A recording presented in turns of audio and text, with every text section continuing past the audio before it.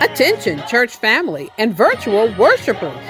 Join us next Sunday as we celebrate the 129th anniversary of this great branch of Zion.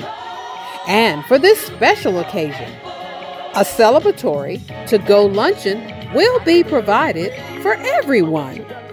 So please help us prepare. We ask that you go by the clerk's office today, following the morning worship service, and RSVP with the number in your party. And for our virtual worshipers, please plan to be here next Sunday.